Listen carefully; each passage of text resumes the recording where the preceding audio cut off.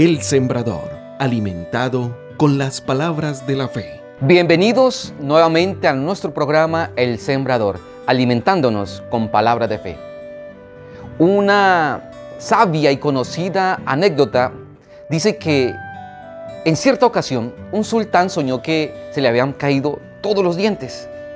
Después de despertar, mandó a llamar a un adivino para que interpretara su sueño.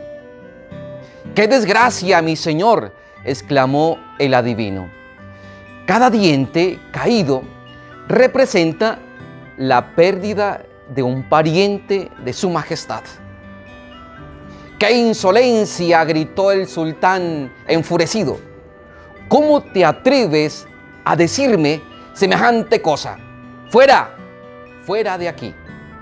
Llamó a su guardia y le ordenó que le dieran 100 latigazos a este adivino. Más tarde, ordenó que le trajeran a otro adivino y le contó lo que había soñado. Este, después de escuchar al sultán con atención, le dijo, Excelso Señor, gran felicidad te ha sido revelada.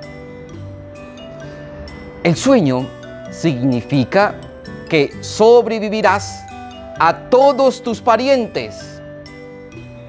Se le iluminó el semblante del sultán con una gran sonrisa y ordenó que le dieran a este hombre 100 monedas de oro.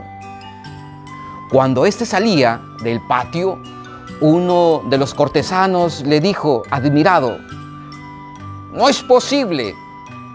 La interpretación que le diste al rey, al sultán de los sueños, es la misma que el primer adivino. No entiendo por qué al primero le pegó 100 latigazos y a ti 100 monedas. 100 monedas de oro.